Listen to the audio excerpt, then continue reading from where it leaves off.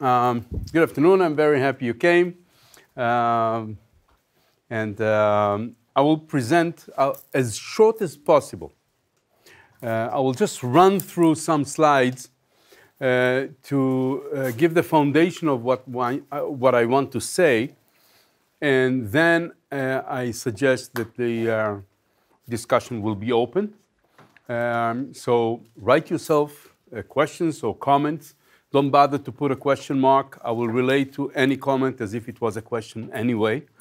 Uh, so um, um, I will uh,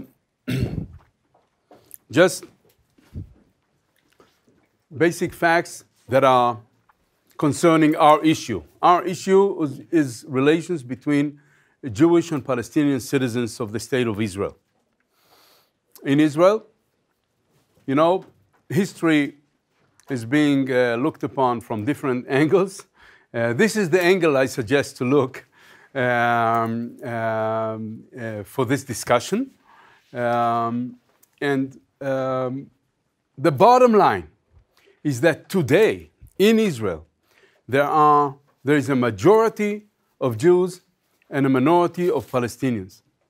Inside the state of Israel, you all can envision the, the, the, um, uh, the map, right? Just okay. This is the map of Israel. Inside the state of Israel. can you all see the, the? It's been years since I used the chalk. I used to be a teacher in the in the 80s.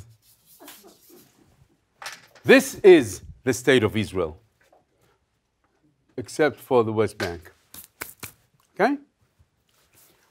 Within the state of Israel, the citizenry of the state of Israel is consisted of 70 uh, of, of uh, um, 80 20 uh, majority minority and this is the very basic fact for the talk for the conversation, for the discourse that we're trying to build. The two tectonic plates under the state of Israel are Jewish and Palestinian. Israel, in the past 10 years, is going through rough time with regard to the uh, relations between Jews and Palestinians. Um, within the Israeli citizenry, again, I'm saying it, um, were suffering um, racism, open racism, derived from the Israeli government that reflects many in the Israeli public. The government, the Israeli government now, is not directing, is not showing the direction, but following the direction of open racism, the, um, the racist sentiment that is out in the public, in the Jewish public.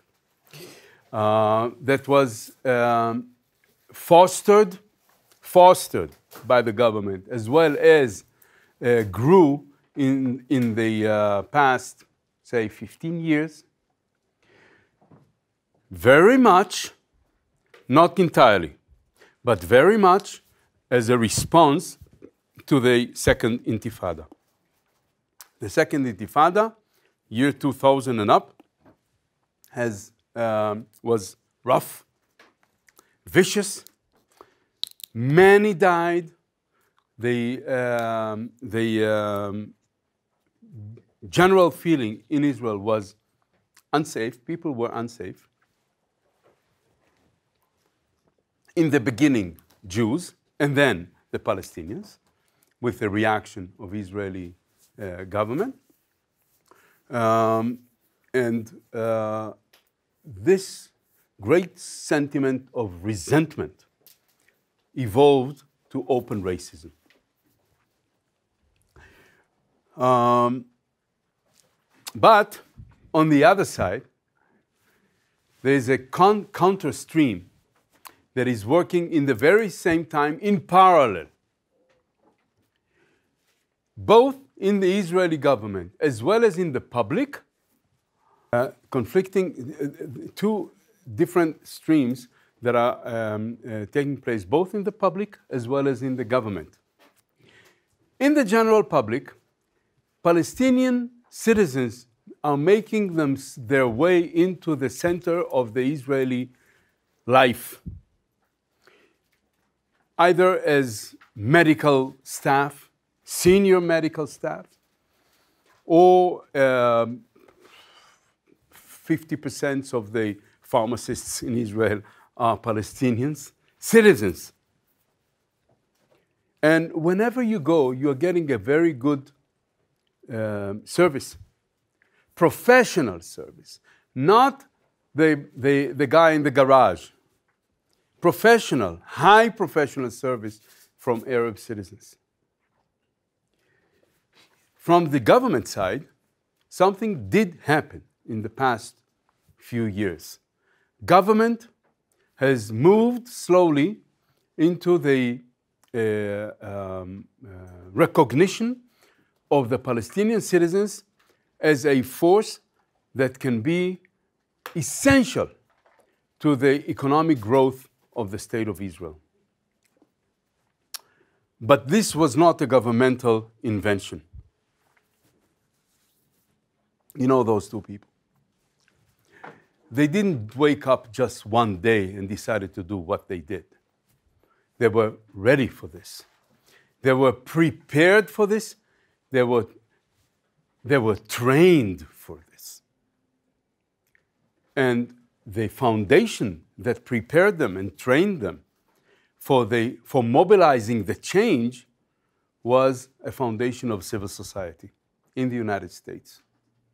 Civil society uh, was uh, active, very active in the United States. Do you know of Rosenwald? You do? Rosenwald schools. Yeah? Yeah? All right. That's, you are the first, this is the first talk that I'm giving here in the United States that people recognize Rosenwald. I will mark Austin. Yes. Probably it's one of the best kept secrets of the United States because people didn't know about it. And I learned it from the film, of course. Um, but these are two examples of civil society partnership between philanthropists and educational or social or political entrepreneurs who are preparing the next step of the society in a certain country.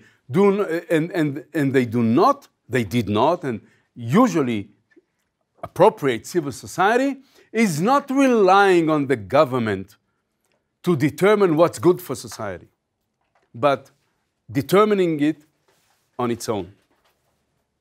In Israel, the issue of relations between the Jews and the Palestinians, the Jewish and the Palestinian citizens, is totally emerging from the civil society. Governments, not all governments, not only Likud, uh, Avodah, uh, it doesn't matter which one, never took it as, a, as, a, um, as, a, as, as an agenda to promote relations between Jewish and Palestinian citizens. I remember invited to speak at the JCPA, the Jewish uh, Council for Public Affairs, years ago, ah, more than a decade ago. And the guy explained to me what is the JCPA. He said in every uh, Jewish community there's a committee called the JCRC, the Jewish, uh, um, the, uh, uh, the Committee for um, Community Relations, uh, com um, Committee for Community Relations of the Jewish community and the general community and other communities. And he told me that there are 124 committees like this in, in, the United States, in each and every one of the Jewish communities, even in the Jewish community that there is no uh, that there is no um, uh, allocation committee because they have no money. JCRC they have because this is the most important, the existential issue for the Jewish people to live is by their relations with the non Jews around them. he told me we are about five, six million Jews in the United States, amongst about 350 million Jews, uh, non Jews in the United States. We have to get along with them. This is the reason. There is a committee in every community that is taking care of this. 85% of Jewish giving, Jewish philanthropy in the United States is going to non Jewish causes. This is to state their awareness of how important it is to be in, in good terms with other communities around them. Can you imagine in Israel that there will be a JCRC, Eldad? In each and every Jewish community in Israel, taking care of relations between this community and the non Jewish community around it? Of course not. It's not, it's because it's diaspora. They need it. We, Zionists in the state of Israel, walking barefoot as land, as, as, as Lord of the land, we don't need JCRCs. We're determining our own rules here. And this is the spirit that drives the Israeli governments, all governments until now. It is the civil society organizations who are bringing this notion onto the agenda. So, civil society organizations can do two things. One, mainly, is to establish facts on the ground. That's Tzofen. Or to do advocacy. That's another uh, example I will, I will give you. Tzofen, if you are taking notes, write this name and Google it afterwards. Uh, I, I, will bring four examples, so uh, you can just Google them later. Uh, Tzofen is establishing facts on ground, integrating Palestinian academics in high-tech industry. That's it. Not more than that. Their goal is to reach, I think, uh, four times more than that. But it's a very good achievement up to now. Lately, the government started to cooperate with Tzofen also. Sikkuy, S-I-K-K-U-Y, is another organization in Israel, but is working on advocacy. Sikkuy is rarely establishing facts on the ground, but rather preparing um, uh, position papers and policy papers to the government, even though the government never invited papers. They push them. They prepare them, determining the agenda, what's needed, according to what they see from their own uh, uh, angle. It's a joint organization, of course. Also, uh, is a joint Palestinian uh, Jewish organization. They are determining what the agenda, what should be on the agenda of the government with regard to, to integration, and they are pushing it. Quite successful. Um, this one is not the government. This one is a, a, project that they initiated a year ago, trying to push as much as possible Arab experts to the uh, studios of uh, TV, TV uh, programs. And uh, uh, years ago, and always, Arabs were invited to speak at the studio or in the radio or were interviewed on the paper only about Arab issues. We need to, to, oh, if you're talking about Arab issues, don't bring just Jewish experts to talk about the Arabs. This is patronizing. We will invite the Arabs to talk about the Arabs. This is a half step forward. That's fine. But Sikkuy is pushing the limits more asking to invite Arab experts on general issues, not on the Arabs. That's um, uh, creating a presence of Arab citizens in the discourse, in the general Israeli discourse. Uh, it was a great success, and, it, and, and this will grow even higher um, in this year, I, be, I believe. Um, this organization, Interagency Task Force on Israeli Arab Issues, I truly suggest that you will get on their website. Lots and lots of information on the subject uh, you can find there. This is Facts on Ground, initiated by Sikkuy, but Sikkuy is not uh, uh, um, doing things on the ground, so we left it. Uh, I, I, used to be a director of Sikkuy. Uh, when I was already, we left it, uh, but this is another cooperation between Jewish and Arab citizens. It's a joint organization of tourists, of um, tourism entrepreneurs. Wonderful. I would uh, suggest get on their website, Green Tapestry, it's called, Green Tapestry, uh, before you go to Israel. If you go, um, they'll take you on a very interesting tour. The last cooperation that I want to um, uh, present to you uh, is the one that I'm heading now, um, uh, hand in hand. Uh, it's a cooperation between Jewish and Palestinian citizens in Israel. It's partnership. It's not cooperation, it's a partnership. By definition, both own the partnership, the, the uh, venture.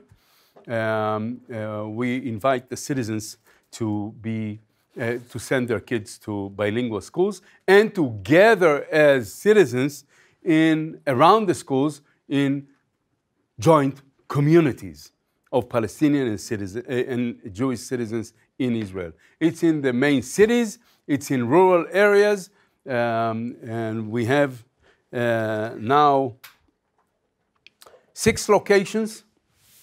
Uh, and uh, the new one, I hope, that will be in Nazareth Illit uh, in September, this coming September. We are supposed to open a um, new kindergarten that will ultimately grow all, all, the way to grade 12. Uh, you see the locations. The question marks is uh, places that we're not sure if we can open or not open there.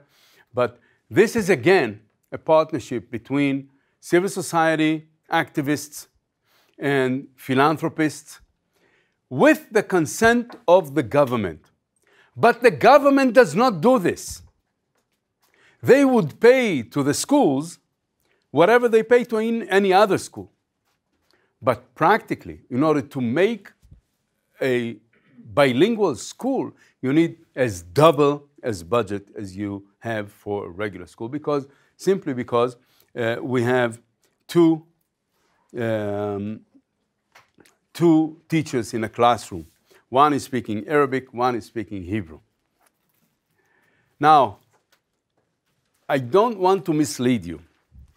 The whole issue of bringing the children together is not to rely on them that they will do the job for us. It's to create a community around the school of adults who are practicing shared life, practicing partnership in a country that is doing everything to separate between them. This is completely counter to the general conduct of the state of Israel. In Israel, the, the order of, is order of separation. In the uh, living places, in main, and mainly in the education system. The school system is separated. I know it's hard to say it in the United States, but it, it is separated in Hebrew and in Arabic. The Hebrew one is divided to three uh, different three streams, but the official Israeli public system does not bring together Jewish and Arab students to, to, to school together. It is civil society organization that is doing this in, with philanthropy. And this is the whole notion of responsibility of citizens towards the future, their own future, not relying on the government for deciding for them. I'm happy to have with us here a parent in one of uh, hand-in-hand uh, schools in Haifa, Eldad Levy. He popped in from a no, no, you're not. He's not missing a class. I, I, I, I don't know if there are professors here. Uh, um, but um, uh, he will complete his duties, I believe. Um, Uh, and uh, later, uh, I would like to, if, if, you, if you want, if you can, uh, to elaborate more. That's it. The responsibility of the, of the people in the age of civic responsibility must be exercised, in Israel especially, because it is not the agenda of the government. Now, I would like to, it was short enough, I hope. Uh, we have 30 minutes, 35 minutes for discussion. So, um, and I would uh, suggest that I will take, I will not answer each. I will just take uh, three and will respond. I don't have even to respond. Uh, it's up to you. Okay? Uh, here, here we have first three. Go on. Go ahead. If you can just present yourself to, to the. Hi, I'm Michael Churgin. I'm on the law faculty. In terms of the university, when I was last at Princeton, they were very proud of the percent of um, non-Jewish citizens that they had at the university. Are the un- other uni- are they and other universities doing things to increase enrollment of uh, Palestinian citizens? Oh, all right. Yes, please. So the, If you um, can just present yourself. I'm Davida Charney. I'm a professor here in rhetoric and writing. And I'm also um, on the board of the local chapter of J Street. So the question I have is that the, the, the civic organizations that you're talking about are doing work within Israeli borders with citizens of Israel, okay, which I think, I think is highly laudable and important. Uh, Is it also preparing the way for a one-state solution rather than a two-state solution?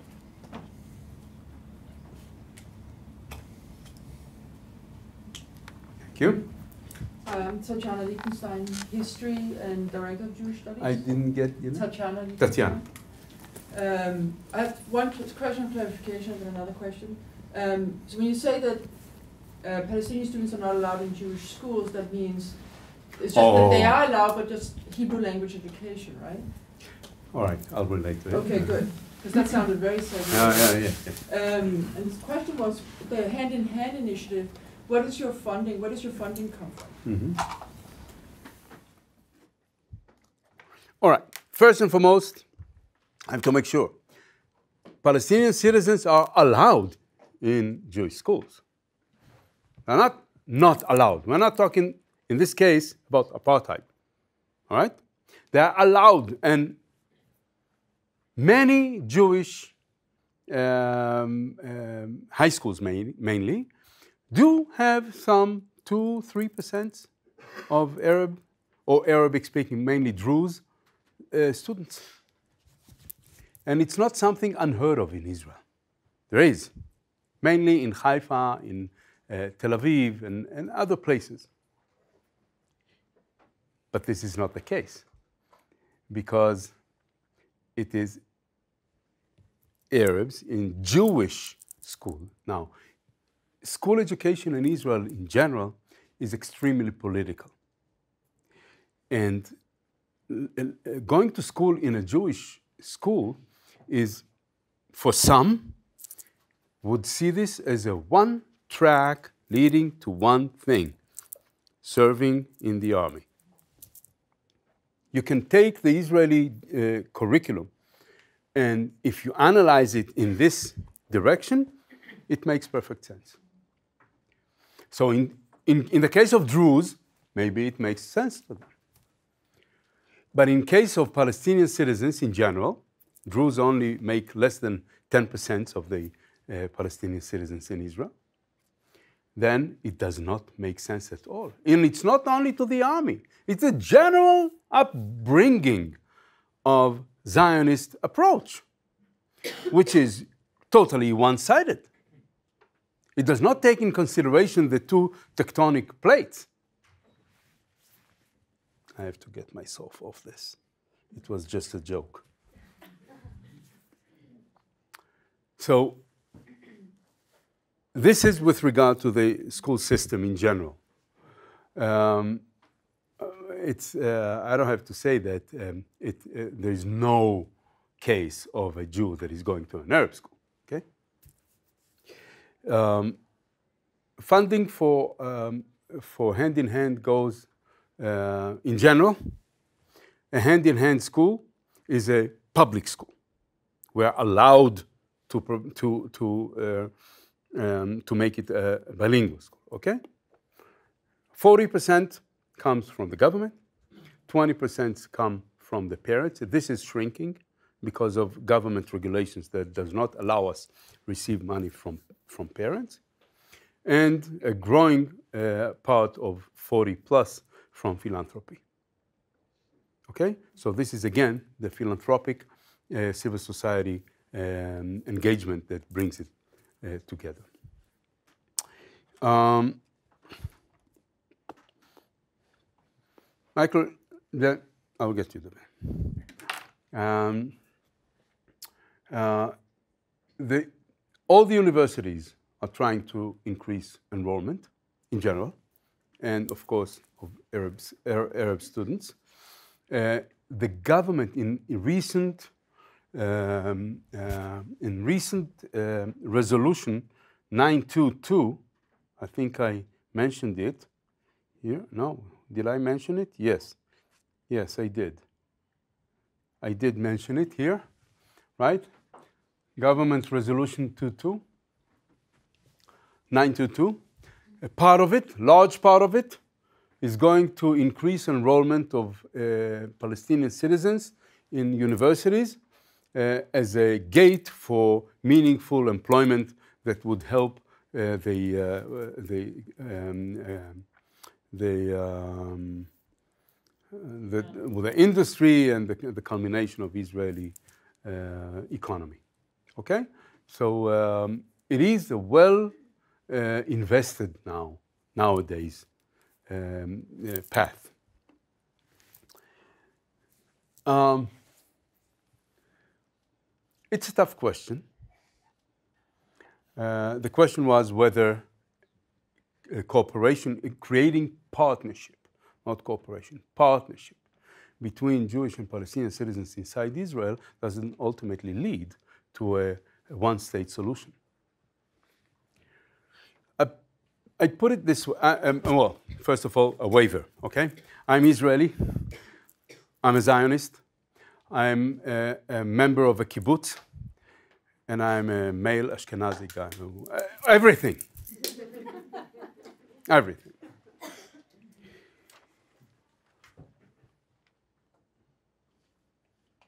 My Zionism is the belief, it's a belief that um, the Jewish people has a right, a collective right for collective Jewish life in the land of Israel. All the rest is how. And this is how. This is how I suggest to do it. In my opinion, the ultimate test of Zionism is its ability to create partnership on the collective level between the Jewish people and the Palestinian people. Now, the question where exactly the, uh, the line will uh, go, this way or another, between the sea and the river, or with a line, uh, and what is the meaning of a line when you are partners? What is actually the meaning of, the, of this line between the states in the United States? Okay? When you are well federated and cooperating and have a sense of joint living, strong sense, and have a joint belief that the co is actually the living, then I will put, put it this way a society that is equal, religiously equal, and open, inclusive, accepting, both sides, and I'm not trying to pluralize the uh, dispute here, it's two tectonic plates.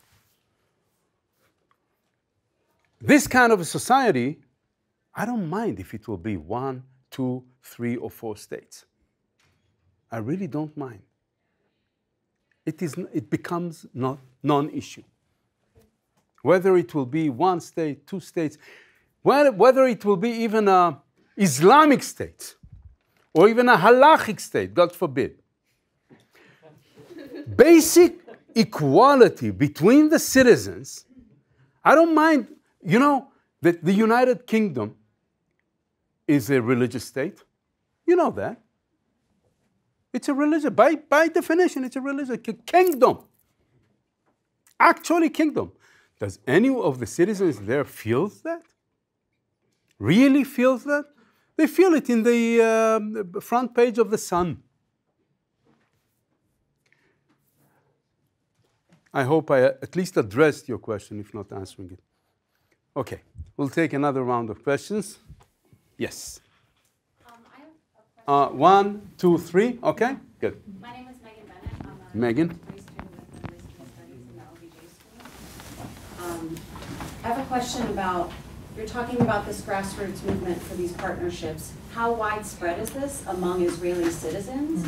And is there any push to advocate the representatives to actually change the government to uh, invest more in these kind of initiatives? And secondly, do you see any availability for this pattern to occur in the West Bank?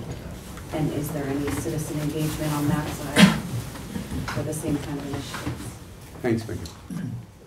Yes. My name's uh, Peter Stone. I'm faculty in the computer science department.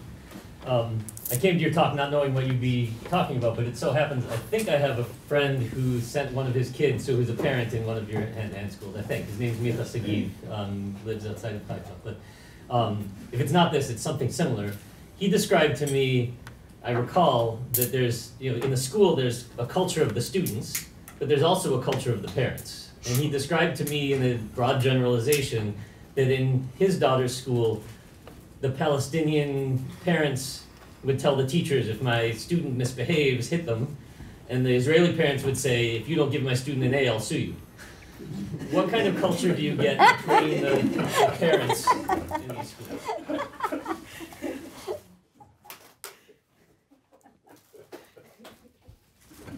Either way is violent. okay. Yes, please.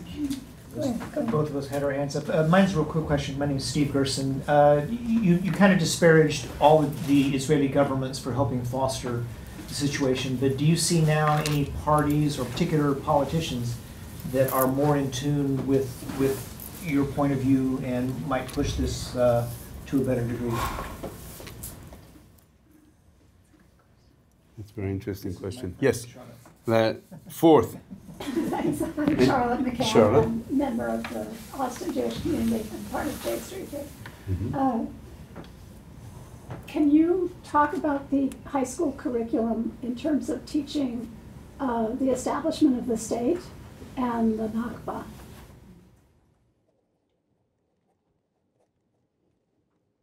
Okay.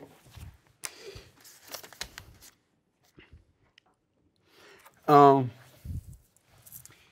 Megan, this is the um, how, how widespread is the phenomenon of partnerships between Jews Jewish and Jewish and Palestinian citizens?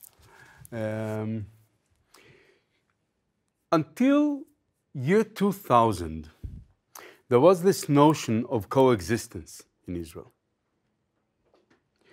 Um, I'm saying only in general, because it was the general notion that we should live together and we want to live together. We're all people.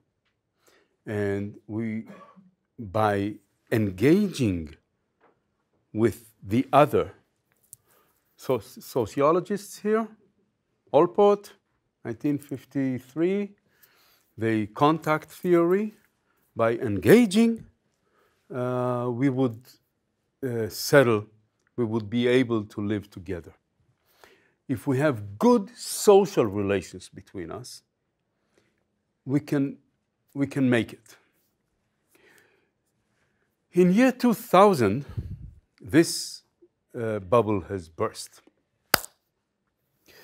The um, violent, um, uh, the violent um, demonstrations of Palestinian citizens have encountered deadly snipers killing from the police. 13 of them were shot to death. Until now, we do not know who did it. They, the uh, police covered it uh, until now. This, it was not an incident, it was an earthquake that shattered the vulnerable coexistence partnerships that uh, existed until then. Uh, we have really announced the death of coexistence. It was then when partnerships started to be built. Only then. Because partnership means co owning the venture, the organization, the uh, initiative. Co owning is practically means that the Jewish side will have to give in. And the Palestinian side has to take responsibility. Both moves create much backache to both sides. It's very, very complicated, but unavoidable if you want to build partnership. Co owning. This is that. Where's Davida? She left. I went back. Tell her when I was talking about co owning, I referred to her again. Because it doesn't mean how many states there will be between the sea and the river. The state of Israel has two tectonic plates under it, and it should be co owned by both. Okay? I hope it at least addresses your question, Megan. Um, uh, it's still not many. Hand in Hand is the single largest organization. Uh, we count the, in the bilingual education in general, there are six hand in hand, and another two uh, who are, um, uh, which are um, uh, independent, not with hand in hand, but operating just the same. So we have eight bilingual schools in Israel. Around each of them, there is a community. Uh, we count uh, 1,800 students with hand in hand, and another 600 with Neve Shalom and Hagar in the Negev. Um, where's the map? And um, and um, each school altogether it's uh, for uh, 2,400 plus 600 faculty uh, and, and staff. Altogether, 3,000 people in Israel are experiencing this experience every day. You can add all the other programs that Eldad knows more than I am, right? On a daily basis. I'm not sure any, there's no any other program that is on a, on a daily basis, but usually on a weekly basis, monthly basis, or once in a year. Altogether, how many? In, with, hand, with a bilingual education, we double it by four because each student or faculty is in direct contact every day with at least three family members. Okay? So that brings us to 12,000 people in Israel who are experiencing this every day. Their calendar is different than the rest of the country because it's inclusive.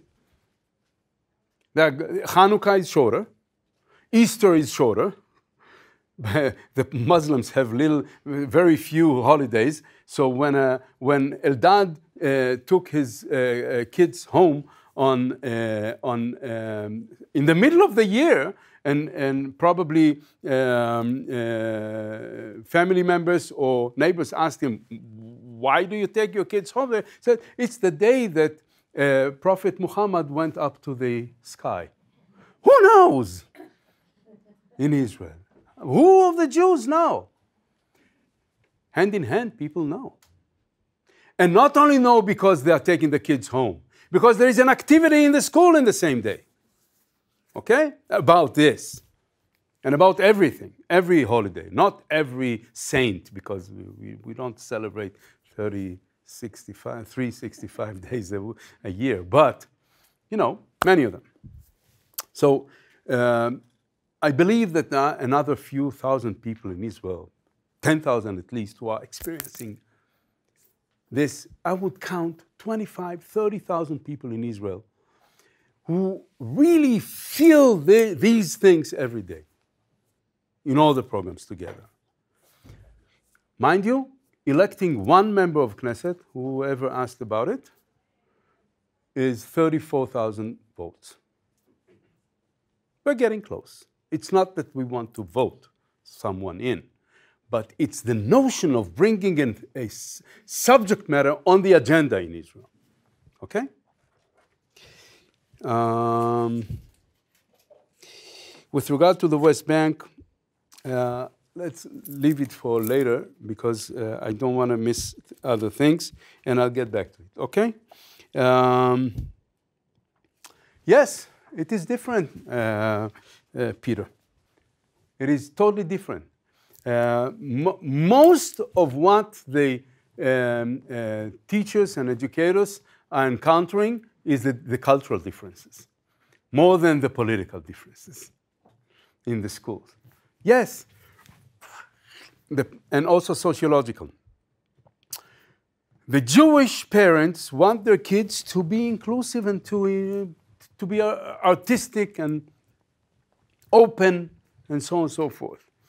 The Palestinian parents send their schools so they, their kids will get a, uh, um, uh, a push for mobilization, for social mobilization, to get their Hebrew right and to do to have good marks and in the high school mainly in the first few years the palestinian parents demanded that the kids will do physics and mathematics and chemistry and, and, and uh, things that will push them into the market later, into the uh, employment market. And Jewish uh, parents want their kids to, to study the arts and uh, filming filming was the thing. I mean, why filming? Storytelling. And in within few years, very few years, Palestinian kids betray their parents and they want filming too.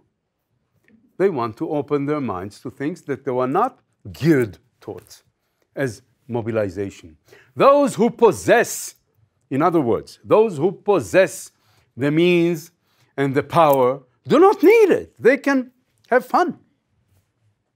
Those who must have a good profession for good making a living must be pushed up.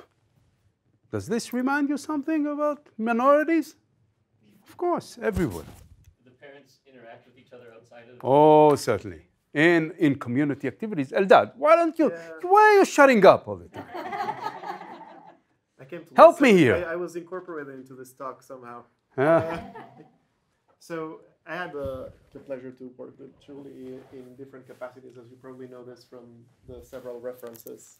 Um, so I, I want to say I want to say one very important thing in regards to Megan's question, actually, on the change that has occurred in the field of peace building in the past 15 years. And so I grew up in I grew up in a different organization in Seeds of Peace, and maybe you've heard of it. It's a very well-known organization.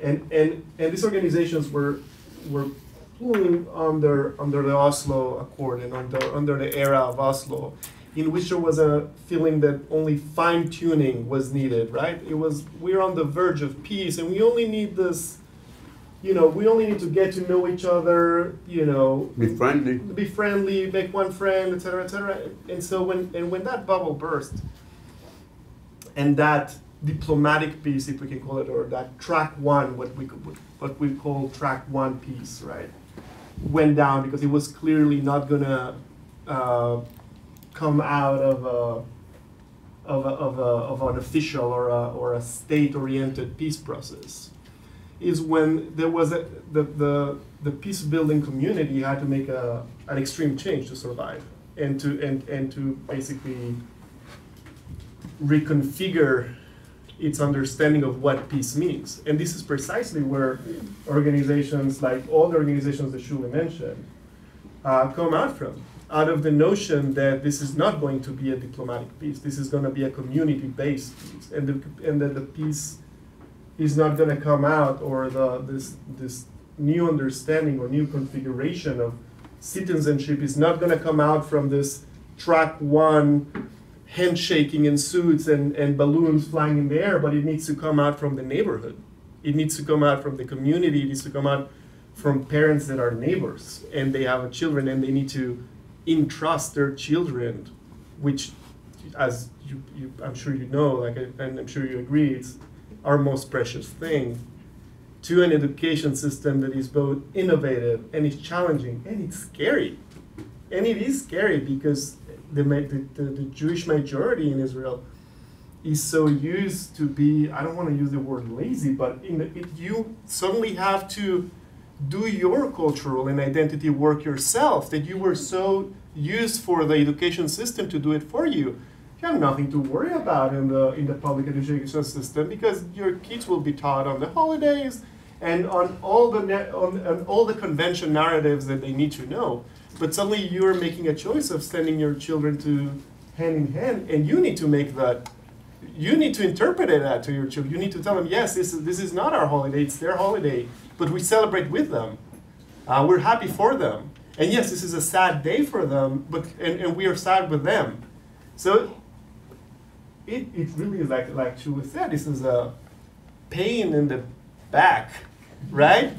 because suddenly there's a cultural and, and, and a, a, cultural work to be done with your children and there's a civic it's a really civic work to be done with your children because you choose to do something that is not the norm so we have established a team in hand in hand in past three years uh, it's the dialogue team consisted of top dialogue facilitators in israel who is going and having dialogue sessions with each and every circle of hand in hand.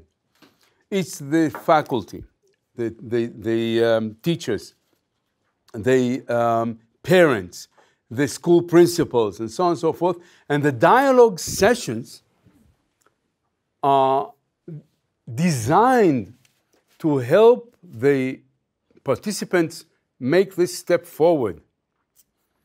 And to us, dialogue is not talking, it's a process of change via talking. Okay? But they do allow not just to ventilate their feelings, but to create, they're creating a process that allows the participants change their own attitudes no matter what. Some of them are going this direction, some of them are going that direction. It's all respected as long as it is in the very same arena and it's shared, it's co owned. Okay? So the parents are exposed to this in so many ways. It's the basketball team in Jerusalem that is playing in the municipal league. It's the um, texts reading um, uh, group called Madrasa Beit Midrash in, uh, in uh, Wadi Ara. It's the, um, the um, trips that the parents from Haifa are taking together to Jordan. Last, last weekend in the Carmel, you weren't there. Um, and you name it. Dozens of activities all the time are going on. Not all of them, I, some of them I know only retrospectively from the Facebook. Local initiatives that are, people are getting together because they want it, because it's theirs. They own it. Okay? Um, Steve and Charlotte. Um, racism among politicians is all over. I found uh, in my years with Sikkuy, I, I, worked for 10 years as the CEO of Sikkuy, the advocacy group. Uh, I found allies in the Likud and opponents in Meretz. Yeah.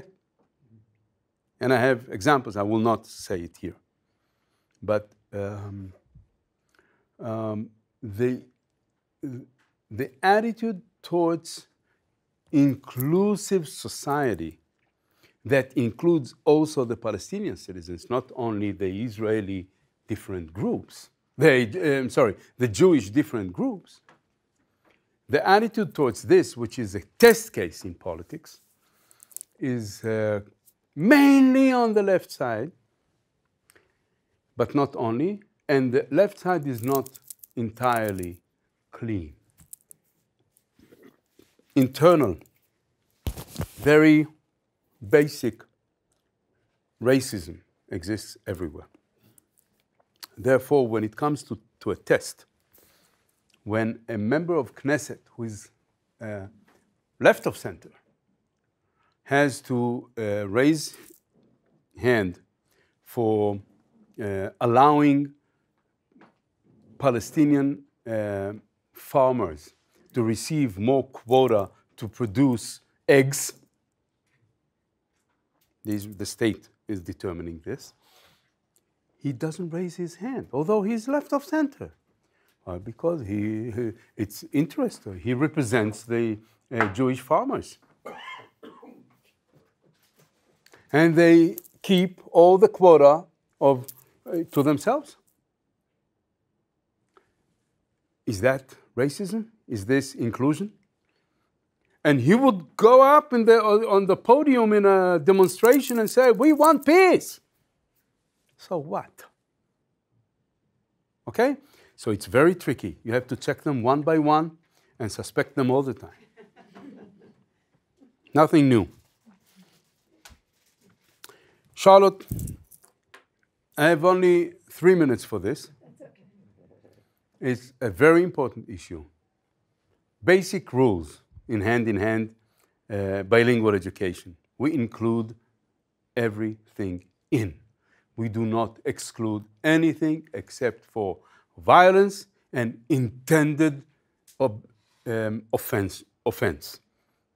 Not offense, intended offense is excluded. All the rest is included. Because we, we know that everything is, because we are bringing two populations of that are their narrative is excluding each other. The narrative excludes each other. Apparently, we know that in 1948, one thing happened in every single place. Historians here? Ah, right, Tatiana. One thing happened. So many stories, so many narratives we include the narratives in our own, we're uh, not, we're not historians, okay? So we're not going with science here. We're going for building society. We include the narratives in our own arena that brings together the Jews and the Palestinians. We have to do this. So, Yom Ha'atzmaut, by law, is celebrated in the school in a ceremony. Actually, it's not Yom Ha'atzmaut, it's the Memorial Day prior to Yom Ha'atzmaut. Okay, a day before. So the ceremony is taking place in the school by law. Yom HaZikaron, uh, the Memorial Day of the fallen uh, Israeli soldiers. So this how it looks in Jerusalem, where, where we have, you asked about the high school it, goes everywhere, no, but, but also mainly in Jerusalem. Jerusalem is very dramatic because it's big. Half of our students, almost, almost half of our students are in Jerusalem. Um, uh, there's this ceremony at 11 o'clock, and there's this gathering of the Palestinian students telling the story from parents and grandparents and the story of families of the Nakba. After 20 minutes, there's a recess of five minutes while they're gathering in the gym for a shared ceremony. I'm shivering as I'm, I'm uh, remembering this every, every year. A shared uh, ceremony that is called From Pain to Hope. And the children experience both. One, they experience, the Jews experience their ceremony of, uh, in memory of the fallen uh, soldiers. The Palestinians experience the stories in their own setting. We call it uninational setting, provided that there's a binational setting together that is summing up everything. And they are bringing both, representing words and um, poems and whatever was written, was uh, said then, bringing it to the shared uh, ceremony. Um, this is the art of inclusion. Uh, and this, the parents, the, the, the teachers and the uh, uh, educators are doing this every day. It's every day in the classroom. It's not only on Yom Ha'atzmaut. It's every day. It's all the time. Okay? The question was about in other high schools, not the hand-in-hand high schools. Well, just in general in the. In general? That was the question? I'm sorry. That's all right. That's all right. Oh, I'm sorry. I thought you were asking about. Uh, so you see how self-centered I am. Uh, I'm sorry. That's okay. I, I, I'm so sorry. Uh, of course, Nakba is not mentioned at all. It looks even as if it's, in, it's forbidden to mention the Nakba. It's not true. The law in Israel is not, does not forbid mentioning the Nakba, does not forbid uh, learning about the Nakba as Nakba. Did I say the word Nakba? It's recorded Nakba. It's not forbidden. It is a bylaw, an addition to a very small part of the bylaw of the Israeli budget, the Israeli finance. Um, uh, it says that the Israeli finance minister is allowed, doesn't have to, allowed to reduce from the budget of an Israeli budgeted institute that uh, that conducted a ceremony that expresses mourning of the uh, following the creation of the state of Israel, mourning the creation of the state of Israel. Then, if they had a ceremony, then Minister of Finance is allowed to reduce from their funding up to three times of the budget that was used to conduct this ceremony. Two, three hundred shekels. If they, hire, if they rented chairs or used the uh, electricity for the, not even once this has happened. Not even once since then, 2012, I think. No, 12 or 15, I think. Pardon? It was in the last few years, I know there was some change, yeah. Okay, now, yet the discourse around this is being used to finger shake, and people think that it is not allowed to say the word Nakba, or to learn about the Nakba, or to mention the Nakba, or to um, um, discuss the Nakba with others. It is deliberate. Um, uh, what do you call this? Uh, there is a term for this in English. I'm sure. Pardon? Equivocation. Intimidation. But there is uh, this uh, um, uh, intimidation suits, uh, the intentional suits that are int- uh, intended to shut up. What do you call this? Well, I'm sure you have a term for this. Lawsuits? Lawsuits. If there are lawsuits to men, uh, designed only to shut someone up. Um, uh, הפחדה, intimid- Anyway, you know what I mean. To intimidate the public at large from discussing this. And this is not the only law that is being passed. Only this is not the only minor law that is being passed in the Knesset or even suggested to the Knesset just to create an atmosphere to create a discourse, not to pass a law. In the past few years, we are exposed to this. And a civil society that determines its own agenda apart from the government, we have to know how to encounter it. I think your time is up. I, am not, I, I'm, I, I'm okay with staying, but okay? Thank you.